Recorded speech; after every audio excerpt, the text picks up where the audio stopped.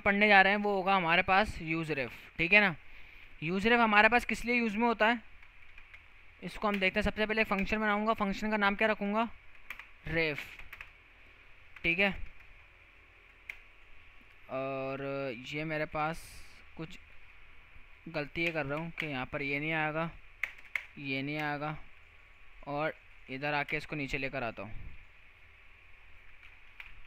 Return करा लेते हैं इसको, ठीक है? और इधर आने के बाद इधर एच वन हो जाएगा। दिस इज़ यूज़ रेफ अच्छा यूज़ रेफ जो है, एक हुक है। ये हमारे पास करता क्या है? ये हमारे पास, जैसे कि मैंने बताया था, हमारे पास कितनी डोम्स होती हैं? रिएक्ट के अंदर। कौन कौन सी? अब जो हमारे पास जो एक्चुअल डोम है, हम उसको टारगेट नहीं कर सकते थे। लेकिन यूज़ रेफ हमें उसको डायरेक्टली टारगेट करने का ऑप्शन देता। है ठीक है? क्योंकि वर्चुअल डोम जो होती है, वो हमें नज़र नहीं आ रही होती है।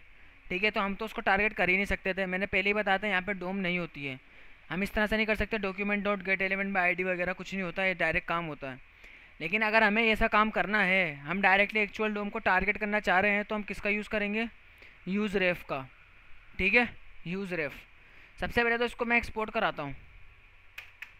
एक्सपोर्ट डिफ़ॉल्ट रेफ अभी मैं यहाँ पर ये करूँगा, इसको आके एप डॉट जेसेक्स के अंदर इंपोर्ट कराता हूँ। मैंने बोला रेफ नाम का एक कंपोनेंट होगा, इसको इंपोर्ट करो, यहाँ पे लगा दो। ठीक है ना? अभी बाहर जाके देखते हैं कैसा आ रहा है। इसका सर्वर ऑन कर लेता हूँ।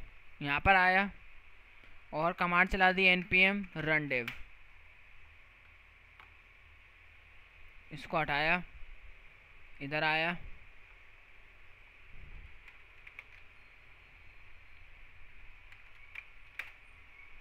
ठीक है, मेरे पास दिस इज़ यूजरेफ आ रहा है वर्क कर रहा है। अभी यहाँ पर हमारे पास देखते हैं डायरेक्टली किस तरह से टारगेट करेंगे और डोम की सारी प्रॉपर्टी को यूज़ करके चेक करेंगे। एक दो चेक करा दूँगा मैं आप लोगों को। रेफ के अंदर आते हैं। सबसे पहले हमें यहाँ पर एक हुक लेना पड़ेगा। Use ref. सही है, यूज़ रेफ मैंने हुक ले लिया। ये जो हुक है, कहाँ से आ रहा है? अभी आपको इम्पोर्ट हुआ नहीं हुआ। रिएक्ट से आ रहा है। ये मेरे पास एक फ़ंक्शन है, पहले इसको इम्पोर्ट करना पड़ेगा। गलत लिखा है क्या? हाँ गलत। Use ref. असल में वो स्पेलिंग गलत लिख दी थी। यूज़ रेफ क्या बात है? मसला कर रहा है। इम्पोर्ट पर हुआ हुआ भी नहीं हुआ। हाँ हो तो गया। ये बोलूँ आ क्यों नहीं रहा? मैंने यहाँ पे लिया। यूज़ रेफ ठीक है ना? ये मेरे पास एक फ़ंक्शन है। हमारे पास जितने भी हुक्स हैं, सारे फ़ंक्शन हैं। सबके अलग अलग काम है, इसका अलग काम है। इसका बहुत ज़्यादा इजी है। लेट यहाँ पर आप कोई भी नाम दे दो बस। मैंने रिज़ल्ट लिख दिया या आप रेफ कर लो, जो भी करना है बस आप इसका नाम दे दो। हम इसे बोलते हैं इंस्टेंस क्रिएट कर दिया। क्या क्रिएट कर दिया? इंस्टेंस इंस्टेंस का मतलब ये होता है कि हमने इसको एक वेरिएबल में डाल दिया, अब इस वेरिएबल को जहाँ जहाँ पे भी हम जाके रख देंगे, वो इसके साथ कनेक्ट हो जाएगा। फॉर एग्ज़ाम्पल ये टारगेट करने का तरीका, वहाँ पे करते थे document dot get element by I D भाई, यहाँ पे ये करा है बस। और बस यहाँ पर ले जाकर इस वेरिएबल को, जहाँ पे भी हम फॉर एग्ज़ाम्पल इस एच वन में कॉल कर दूँगा। कॉल करने का तरीका क्या है? यहाँ पर हमारे पास एक एट्रीब्यूट आता है रेफ करके। कौन सा? रेफ ये ये वाला रेफ नहीं है। ये एट्रीब्यूट का नाम ही रेफ है। ठीक है? ये एट्रीब्यूट का नाम ही रेफ है। और इसके अंदर जो भी आपका वेरिएबल का नाम है, वो इसमें अंदर डाल दो बस। अब ये H1 जो है, इसके साथ कनेक्ट हो गया। कैसे पता चलेगा? इधर आके लॉक करा के चेक कर लेते हैं रेफ को। उसी में ही आएगा ना। हमें पता चल जाएगा क्या हो रहा है इसके अंदर। इधर आया कंसोल में गया। क्या दिख रहा है? ऑब्जेक्ट दिख रहा है। इस ऑब्जेक्ट के अंदर एक की आ रही है करंट नाम की। क्या की आ रही है? करंट नाम की। लेकिन उसकी वैल्यू क्या आ रही है? अनडिफाइन ये बोल रहा है कि इसकी वैल्यू मुझे नहीं मिली। लेकिन अगर हम अंदर आके चेक करें, क्या दिख रहा है? करंट की वैल्यू क्या दिखा रहा है वो? एच वन मतलब कि करंट के अंदर हमें वो वैल्यू मिल रही है एच वन टारगेट तो हो रहा है। लेकिन ये बाहर ऐसा क्यों दिखा रहा? है बाहर अनडिफाइंड क्यों दिखा रहा? है बाहर तो बोल रहा नहीं मिला। लेकिन अंदर आके बोल रहा है कि मिल गया। ऐसा देखो, इसलिए हो रहा है कि जब आप फ़र्स्ट टाइम हमारी वेबसाइट चलती है, या फ़र्स्ट टाइम हमारी वेबसाइट चलती है अब कोड चलता लाइन बाय लाइन ऐसा ही है। जब वो इधर आएगा, जब हमारा कोड लाइन बाय लाइन चलना स्टार्ट हुआ तो सबसे पहले ये कंसोल चलेगा या रेफ चलेगा? भाई, ये वाला जो रेफ है, जब वो चले, ये वाला जो रेफ लिखा हुआ है, हम उसको कंसोल करा रहे हैं तो सबसे पहले तो वो रेफ चलाएगा। नहीं, बात तो सुनो, सबसे पहले रेफ चलाएगा तो रेफ के अंदर तो फ़र्स्ट टाइम पे कोई सबसे पहले तो वैल्यू होगी नहीं। कोड लाइन बाय लाइन चल रहा है ना कि कनेक्ट कहाँ पर हो रहा है? बाद में हो रहा है। कंसोल उससे पहले ही हो जाता है, कनेक्ट होने से पहले। बात समझ में आ रही है?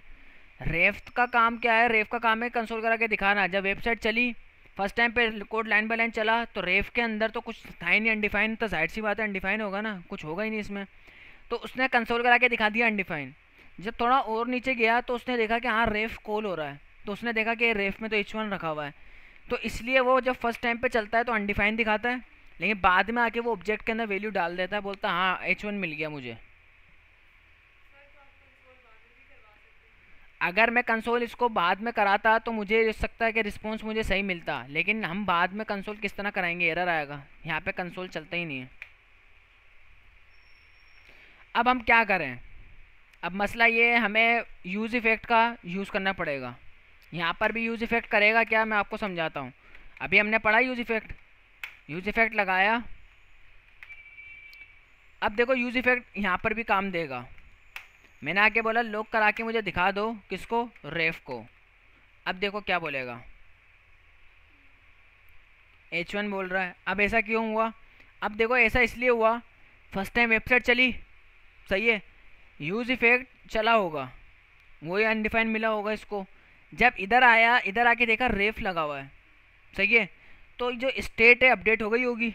जो इसके पीछे का जो काम हो रहा है वैल्यू यहाँ से वहाँ चल गई होगी। इसने देखा एच वन स्टेट अपडेट हुई। जब स्टेट अपडेट होती है तो कंपोनेंट री रेंडर होता है। जब री रेंडर हुआ तो कंसोल वापसी से चल गया। जब कंसोल चला तो उसमें तो एच वन पहुँच चुका था तो वो एच वन दिखाना स्टार्ट कर दिया उसने। बात समझ में आई है?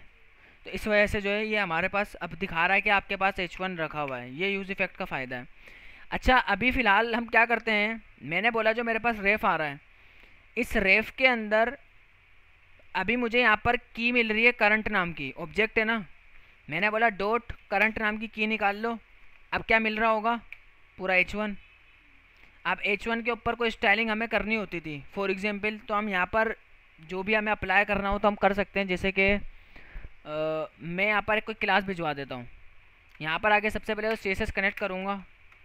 मैंने बोला, आपको जो एक app dot C S S मिलेगी। ठीक है? अब app dot C S S में आया। मैंने एक क्लास भिजा दी कलर नाम की, ठीक है? कोई कलर नाम की, अभी तो फ़िलहाल तो कोई क्लास है नहीं, बनानी पड़ेगी। मैंने बोला, इसका कलर क्या कर देना? रेड कर देना। लेकिन रेड कब करना है? जब ये क्लास आपको एच वन को मिले तो उसका कलर क्या कर देना? रेड कर देना है। तो पहले तो हम लगा के चेक कर लेते, काम हो रहा है। क्लास लगाया, क्लास का नाम क्या लगा दिया? कलर। हो गया रेड? लेकिन मैं इसको जावा स्क्रिप्ट के ज़रिए भिजवाऊँगा। जावा स्क्रिप्ट के ज़रिए मैं क्लास भिजवाऊँगा। हमने जावा के ज़रिए क्लास भिजाने के तरीके देखे थे। कौन कौन से देखे थे? याद ही नहीं होंगे।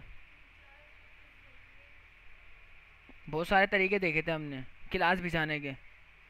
क्लास को भिजाना रिमूव करना ऐड करना टोगल करना।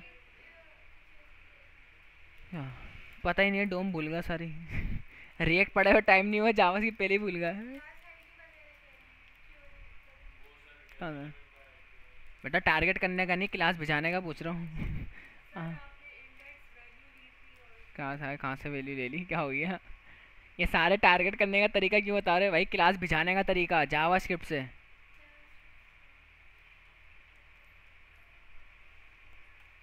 सारों का मुस्तकबिल तारीख लग रहा है मुझे तो। सारे एक ही कैटेगरी के लग रहा है। मतलब एक आध को भी नहीं पता तुक्का भी नहीं मार रहे बहुत सारी मैंने बताई थी एक भी नहीं थी। एक तो हमने पढ़ा था सेट एट्रीब्यूट दूसरा हमने पढ़ा था क्लास लिस्ट लगाई थी क्लास लिस्ट का मेथड था class list dot add class list dot remove dot toggle हाँ याद आ गया, अचानक, अब याद आ गया। हमने यहाँ पर क्या करा, एक क्लास भेज रहे हम। ये कंसोल मेरा काम का नहीं है, इसको लगाने की ज़रूरत ही नहीं है। अब रेफ डॉट करंट के अंदर एच वन मैंने टारगेट कर लिया। हम जावा शिप का यहाँ पर एक मेथड लगा रहे हैं क्लास लिस्ट ठीक है, ये सजेशन नहीं देगा, हाथ से लिखना पड़ेगा। क्लास लिस्ट क्लास लिस्ट का एक मेथड था डोट एड एड का काम क्या था? क्लास का नाम बताना होता था कि क्लास का नाम क्या होगा तो मैंने क्लास का नाम बता दिया कलर नाम की क्लास भेज दो। हो गया? अब ये जावा स्क्रिप्ट के ज़रिए क्लास भेजे यहाँ पे नहीं लिखी हुई है ये मैंने। अगर हम यहाँ पर इसको आके चेक करें एलिमेंट्स के अंदर तो हमें शायद ये दिखा देगा। देख रहे हो क्लास आ रही है? कलर नाम की। मैं यहाँ पर स्पेस दे के एक और क्लास भी दे सकता हूँ। कोमा लगाया। रेड नाम की एक क्लास भेज दी। और रिएक्ट का फ़ायदा देखा क्या हुआ? पूरा पेज रीरेंडर नहीं हुआ। सिर्फ़ वही एरिया चेंज हुआ है बस। ये मैं पहले भी दिखा चुका हूँ। तो हम यहाँ पर मल्टीपल क्लासे भी इसके अंदर भेज सकते हैं। ये मैंने बहुत जगह पे यूज़ करा है। यूज़ रेफ बहुत ज़्यादा यूज़ होता है हमारे पास। ऐसा नहीं है कि यूज़ नहीं कर सकते हम। यूज़ इसको बहुत जगह कर सकते हैं। बट डायरेक्टली अगर डोम को टारगेट करके काम करना चाह रहे हो बस करो। हम नेविगेशन बार में इसको यूज़ करते हैं। मैंने बहुत सारी वेबसाइटों पे लगाया है, इसको ऐसी बात नहीं है। अगर आपके पास नेविगेशन बार आता है छोटी स्क्रीन करने पर उस पर क्लिक करके टोगल खुलवाना है तो इससे भी काम हो रहा होता है। यूज़र से इनपुट के अंदर से वैल्यू निकलवानी है, इससे भी काम हो रहा था यूज़र से अगर इनपुट से वैल्यू निकलवानी, क्या करना पड़ेगा? समझ लो कि इधर इनपुट आ रहा है करंट के अंदर। इनपुट डॉट वैल्यू यूज़र जैसे इंटर करेगा वैल्यू बाहर आ जाएगी। बस। लेकिन याद आ गया, आप लोगों को इसी चीज़ से मुझे याद आया अभी, कि एक चीज़ और पढ़ानी है। नेक्स्ट क्लास में हम पढ़ेंगे, पहले तो एपीआई इंटीग्रेशन पढ़ा रहा था, वो नहीं पढ़ेंगे। हम पढ़ेंगे form handling form handling form handling में देखेंगे इनपुट से वैल्यू कैसे लेंगे सारी। यहाँ पर तरीका चेंज होता है। सही है ना? तो बस यही है यूज़ रेफ डायरेक्टली अगर किसी चीज़ को टारगेट करना हो तो इस तरह से आप कर सकते हो। ठीक है, कोई ज़्यादा हार्ड नहीं है। पिक्चर लेनी है तो ले लो।